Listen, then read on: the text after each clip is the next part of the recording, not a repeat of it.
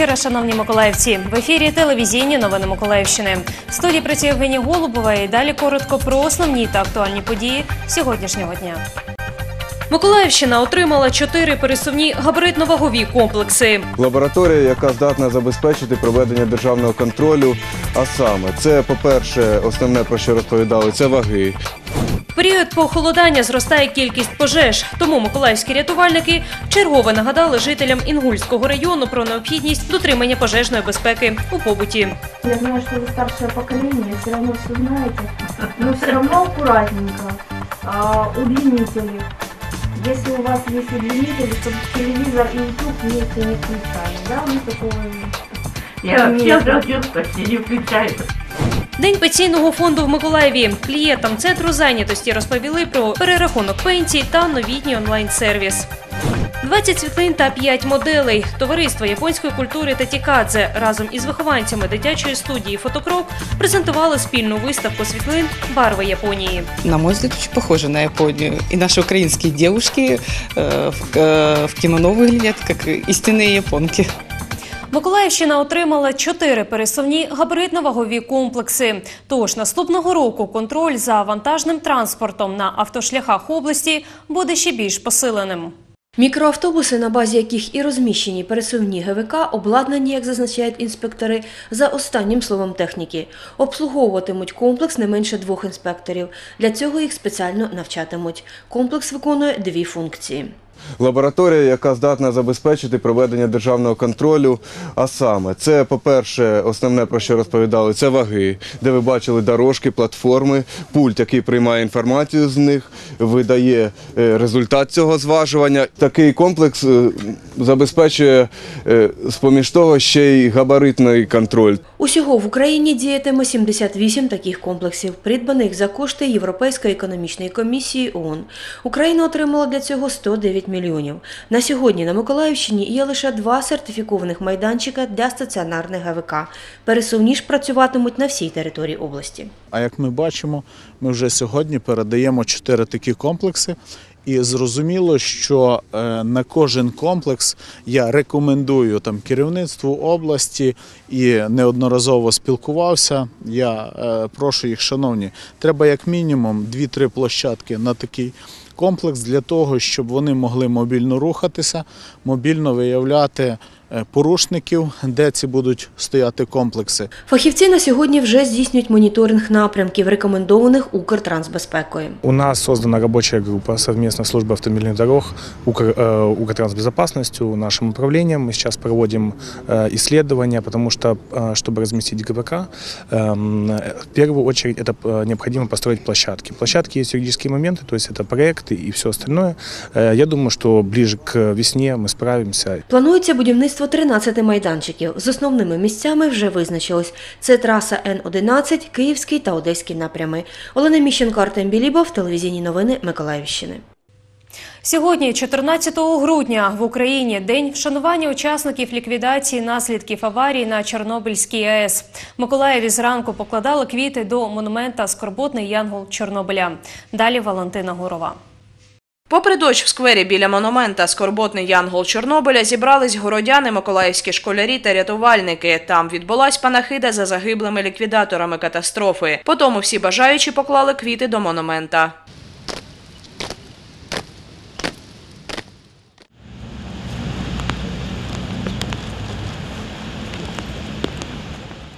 Ярослав Кругліковський, ветеран пожежної охорони та органів внутрішніх справ. Участь у ліквідації наслідків аварії на ЧАЕС брав з червня 1986 року. Чоловік розповідає, потрібно було вирішувати багато задач, які чи не щогодини поновлювались та потребували людських ресурсів, техніки та іншого.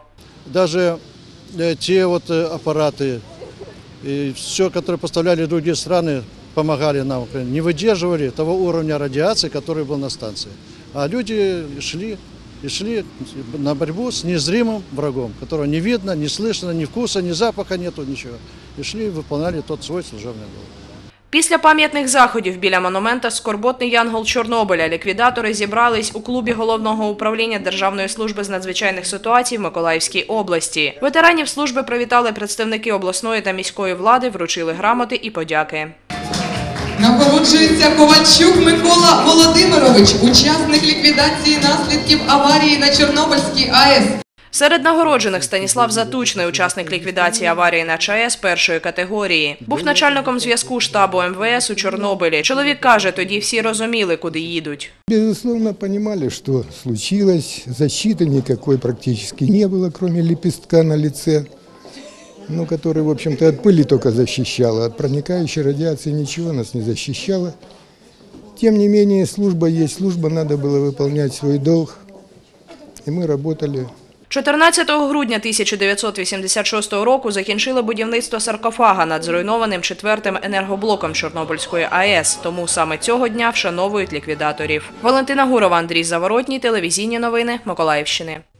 Період похолодання зростає кількість пожеж, констатують миколаївські надзвичайники. Громадяни вмикають електрообігрівачі та використовують пічне опалення. Тому рятувальники нагадали жителям Інгульського району про необхідність дотримання пожежної безпеки у побуті. Профілактичну роботу влаштували серед жителів приватного сектору на вулиці Миру. Співробітники ДСНС разом із соцпрацівниками нагадали правила використання електричних приладів. Особлива увага людям похилого віку. Я знаю, что вы старшее поколение, все равно все знаете, но все равно аккуратненько. А, удлинители. Если у вас есть удлинители, чтобы телевизор и утюг вместе не включали, да? Ну такого... Я вообще Нет. уже утюг почти не включаю. Рятувальники перевірили електропровід у будинках та надали рекомендації щодо правильної експлуатації електричних приладів. Но оно, конечно, вот скрутка. Просто посмотрите аккуратненько, чтобы оно с этой стороны, вот я не знаю, что у вас подключено. У меня плита. Плита. А это телевизор только что включила. Пожилым людям иногда надо ходить, часто ходить и рассказывать правила пожарной безопасности, потому что э, иногда э, встречаются и тройники, в которых включены телевизоры, чайники, обогреватели, к чему приводит э, к пожарам. Наостанок фахівці служби порятунку розповіли господарям осель, як діяти у разі виникнення пожежі та вручили профілактичні листівки з зазначенням екстреного номеру 101. Світлана Кльосова, телевізійні новини Миколаївщини. Понад 30 разів незаконні збройні формування відкривали вогонь по позиціях українських військових на сході країни. Дедалі частіше ворог застосовує заборонені типи зброї. Про це повідомляють у прес-центрі штабу АТО. На Донецькому напрямку у другій половині доби градус напруги перемістився до околиць Авдіївки. Тут, по наших позиціях, противник неодноразово вів вогонь із 82 мм мінометів, гранатометів та кулеметів. Також деякі ділянки біля цього прифронтового міста обстрілював ворожий снайпер. Попри обстріли з боку російсько-терористичних військ, у прифронтовій зоні в населених пунктах Травневе і Гладосове армійці разом з представниками військово-цивільної адміністрації допомагають місцевому населенню. Постійно кожного дня практично ми перебуваємо в даному населеному пункті. Надається допомога постійно військовослужбовцям. І сьогодні надається допомога Карітас Україна, надають допомогу. Значить, дорога відновлення, світ відновлений. До, військових ставляться, до нас ставляться дуже гарно. Також активно надається і гуманітарна допомога. Що там? Як дела? Хорошо. Да, мы приезжали к вам несколько раз, заходили, заходили, заходили, заходили. Приходять місцеві, ми їм видаємо, коли просять, коли картоплю, коли моркву, коли інколи крупи. Коли для маленьких, нас тут є двоє маленьких дітей, даємо зущенку, мандарини, цукерки, хліб. Олександр Гордієнко, телевізійні новини Миколаївщини.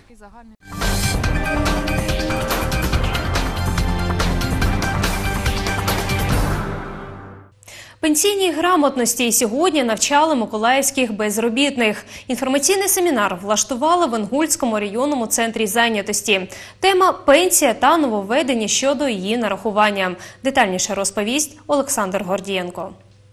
Серед учасників семінару чоловіки та жінки різного віку. Комусь з них до пенсії ще далеко, хтось її вже отримує. В Україні існує три типи пенсії – за віком, інвалідністю та втратою годувальника. Працюємо е, з безробітними, надаємо їм інформаційно-роз'яснювальну роботу, проводимо, е, пояснюємо про умови сучасні для призначення пенсії. Серед нагальних питань – онлайн-моніторинг накопиченого страхового стажу, порядку призначення чи перерахунку пенсії та інших опцій, якими можна скористатися на веб-порталі пенсійного фонду. Ну, з узнала, как я, по крайней мере, хотя бы, как рассчитать свою будущую пенсию. Э, И так понимаю, что мне до нее еще работать и работать. А, ну, Документы там, ну, что можно пересчитать. И хорошо, что есть э, офи- ну, уже в интернете это все, что можно зайти туда. Мне, допустим, это м, подходит больше, чем бе- бегать по городу и собирать документы. Закон про внесення змін до деяких законодавчих актів України щодо підвищення пенсій набув чинності від 11 жовтня цього року.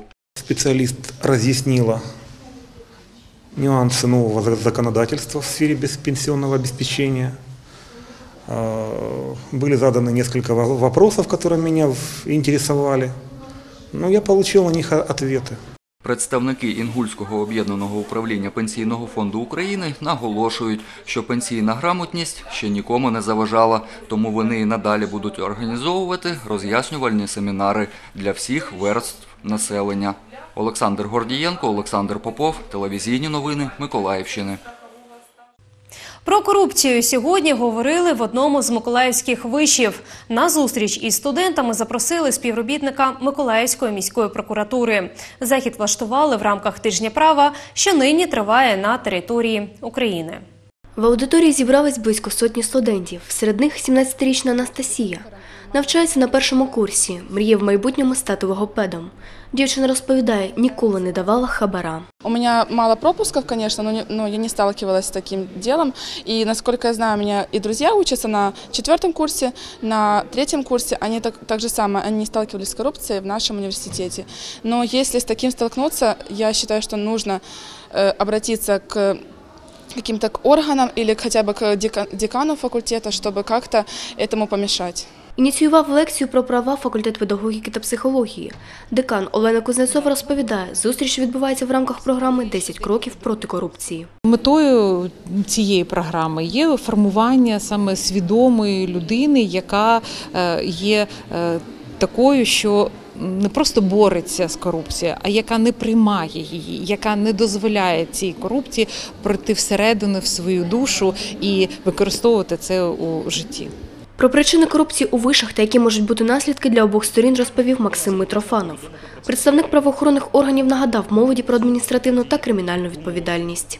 Наявна проблема так званої побутової корупції, тобто це шоколадка, якийсь то подарунок, якісь то 100 гривень. Ну, хотілося б зазначити, що то також є протиправна поведінка, і судами надається оцінка, чи то є адміністративне правопорушення, чи кримінально карний злочин. Лекція тривала півгодини. Студенти та викладачі ставили питання за темою. Організатори зустрічі планують і надалі влаштовувати подібні заходи та інформувати молодь про їх права. Світлана Кльосова, Андрій Заворотній, телевізійні новини Миколаївщини. Семінар за чисте довкілля зібрав педагогів, організаторів, вчителів миколаївських шкіл. Учасники обговорювали проблему збору та утилізації звичайних батарейок. Наталя Андрієва, вчитель початкових класів. Жінка організувала збір батарейок у школі, де працює. Спочатку залучала батьків учнів свого класу, згодом до акції приєдналися інші. Ми працювали в різних в рамках різних акцій, але виникала завжди проблема, куди віддати ці батарейки. Е, Це полягало на плечі батьків. Ми встановлювали навіть контейнери на, е, на місцях праці для батьків також. Але зараз, так як виник такий міський проєкт, то ми дуже радіємо, тому що до нас будуть приїжджати, забирати ці батарейки. Проект Батарейка в утилі в Миколаєві діє третій рік. Як розповідають його організатори, поступово перетворився з ініціативи окремої групи людей на загальноміський. Зараз до нього долучається все більше шкіл. Этот семинар призван научить, привлечь, во-первых, а, педагогов-организаторов, которые смогут организовать а, сбор батареек в школах, заинтересовать детей к сбору, ну и, кроме того, показать а, правильность, необходимость и целесообразность сбора. Совместно с ГРАНО мы про- м, продвинули этот проект по городу. ГРАНО нас поддержала, разослала а, мое письмо по школам, и м, более 20 школ откликнулось. А, Значит, на призыв школ мы развезли контейнеры, Саме на проблемі утилізації батарейок в Україні наголошували організатори і доповідачі семінару. Проблема существует. Утилизация батареек на сегодняшний день в Николаеве, к сожалению, не проводится, проводится в других городах Украины. Поэтому э, про- нашим управлением было принято решение о поддержке за счет средств городского бюджета э, инициативы Студенти-екологи одного з миколаївських вишів підготували презентацію, де розповіли про шкідливість батарейок, способи їх утилізації. Це мене цікавить, оскільки, по-перше, я є студентом, е, що навчається у Чорноморському національному університеті на спеціальності екологія. І по-друге, це тому, що е, ми дуже сильно вболіваємо за те, аби наше майбутнє було чистим, Організатори проекту Батарейка в утиль забезпечили школи-учасники спеціальними контейнерами. Їх будуть замінювати одразу після наповнення. Олена Міщенко, Богдан Іванов, телевізійні новини Миколаївщини.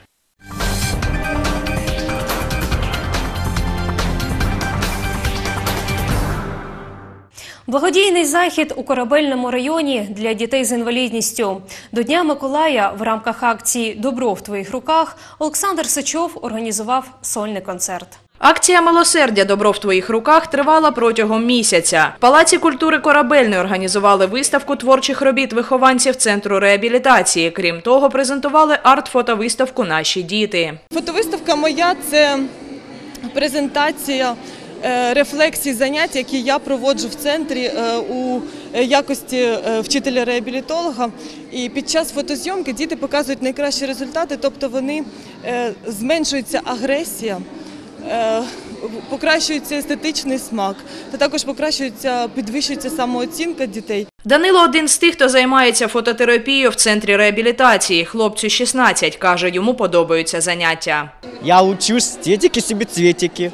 Я розслабляюсь, люблю фототерапія. Виставки та концерт це можливість показати всебічний розвиток дітей з інвалідністю за умови їх самореалізації. Ми вважаємо, що наші діти такі самі, як і всі.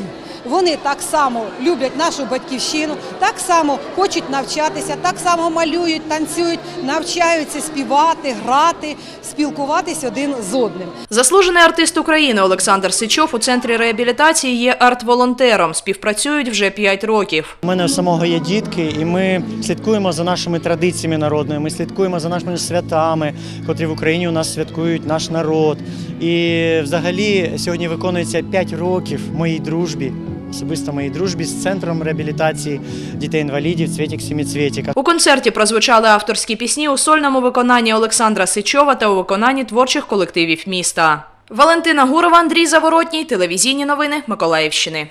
До Миколаєва завітав письменник Віталій Рогожа. Творча зустріч з автором історичного роману трилогії Запороги відбулась у центральній міській бібліотеці імені Марка Кропивницького. Про що розповідав письменник відвідувачам заходу. Дивіться далі.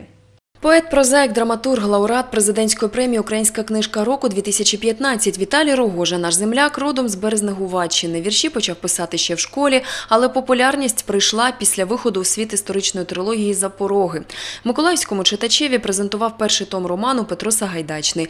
Каже, цю історичну постать обрав тому, що гетьман Сагайдачний дуже мало представлений в українській літературі. Якщо брати конкретно по Загайдачному, то більше матеріалів, які, скажімо, е, і наші, починаючи від Саміла Величкого про ті події е, Тетяна Таїрова Яковлєва, це якщо брати історичну основу. Всі три книжки художні, але за основу автор узяв історичні факти про гетьманів. Для цього вивчав рукописи Грушевського, історію України та інші джерела. Загалом робота над трилогією тривала 10 років. Найбільше часу зайняло саме вивчення історичних документів. Головна мета автора розвінчання міфів про Україну як Малоросію, що активно запроваджувала радянська пропаганда. А за часів незалежності наш північний сусід Російська Федерація. Справа в тому, що е, Україна всього навсього не має навіть незалежна і 30 років. Через те патріотична е, тема, е, тема пов'язана з історією України, е, з історією дуже, дуже непростою, завжди буде для нас актуальною. А на сьогодні, коли ще йде війна, тим паче. На зустрічі з письменником запросили співробітників Миколаївських бібліотек, журналістів, митців та поетів, колег по перу Віталія Рогожі, а також студентів Чорноморського національного університету імені Петра Могили, в якому, до слова, працює автор. Наш університет постійно влаштовує зустрічі з відомими письменниками України. І з цієї ініціативи я зараз і мої одногрупники тут. Присутнім на зустрічі Віталій Рогожа розповів, як саме створював роман, а також про найбільш цікаві моменти у книжці. Відповів на запитання учасників заходу. У найближчих планах автора зустрічі з прихильниками його творчості у Черкасах, Полтаві і Запоріжжі, а ще видання нової книги, яка отримала назву Цвіте безсмертник. Наталія Якобсон, Олександр Пан, телевізійні новини Миколаївщини. Країна східного сонця у миколаївських мотивах. Товариство японської культури Татікадзе разом із вихованцями дитячої студії Фотокрук презентували спільну виставку світлин Барви Японії. Детальніше знає Вікторія Чернявська. Над проєктом працювала команда із п'яти дівчат. Вони не лише фотографували, а й були моделями. Серед них і 13-річна Анастасія Фастовець. Дівчина розповідає, особливо цікавиться Японією, тож створення тематичної фотографії її захопило. Мне очень нравится японская культура, она довольно интересная, в ней много разных, э, с- разных своих э, легенд, разных э, культур, своя интересная кухня и много вообще Япония очень интересная страна и мне она нравится. Надеть кимоно, посмотреть, как быть моделью и сфотографировать, передать э, те, те или иные эмоции у других людей, которые тоже участвовали со мной в этом проекте. А Вот, это было довольно интересно и круто. Місцем зйомки обрали Миколаївський зоопарк, адже саме там є японська ландшафтна композиція зі ставком, воротами Торій та сакурами. За півроку дівчата відзняли понад сотню світлин. Серед усіх фотокарток для виставки обрали 20 найкращих. Посмотрела на Японию с новой стороны, э, м, преломляю через Николаевские, э, через Николаевские уголки э, ландшафтные, через работу детей николаевских. То есть очень нравится, очень красиво. На мой взгляд, очень похоже на Японию. И наши украинские девушки э, в, э, в кимоно выглядят как истинные японки. Також на заході розповіли про японські традиції, каліграфію, створення композицій із квітів і кебану та чайну церемонію. Зачитали і класичну поезію хоку. Сутінки. Хлопчик збиває кульбаби паличкою. Весь день носив капелюх, якого не було на голові. Сутінки. Надто темно, щоб читати. Надто холодно. Захід приурочили завершенню року Японії в Україні. В этом году было много встреч в библиотеках, в школах, в высших учебных заведениях. У нас появилось много тех людей, которые действительно участвуют теперь в работе нашего центра и нашего общества. И я очень рада, что мы смогли за этот год много сделать и рассказать о Японии, и найти новых друзей, новых э, Наше сотрудничество расширяется не только в международном масштабе. Самое главное, что николаевцы больше узнают о Японии. Члени товариства японської культури Татікадзе планують організувати низку новорічних заходів. Так, 20 грудня відбудеться підсумковий поетичний вечір Різдвяний Хокку.